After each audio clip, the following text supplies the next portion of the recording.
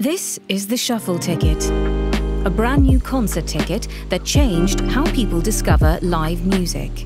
Live Nation and Luger, the leading live concert organisers in Sweden, wanted to highlight their wide range of concerts.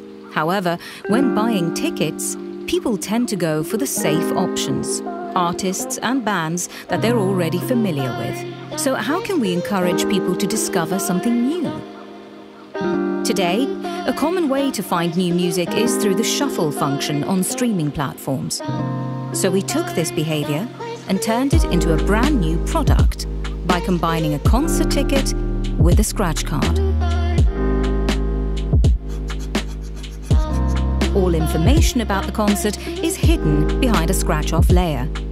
The ticket will give you and a friend entry to one of 100 randomly selected concerts.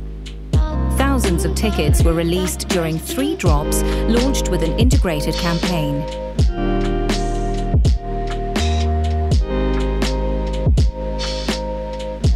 All drops sold out within minutes.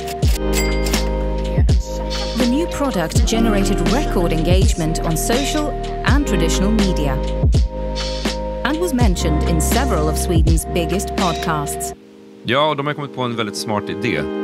Det som kallas för the shuffle ticket. En helt ny typ av biljett där man i förväg inte vet vilken konsert man kommer gå på. They were even sold on the secondary market for five times the price. The Shuffle ticket is now planned to be a recurring annual product to kickstart the concert calendar every year.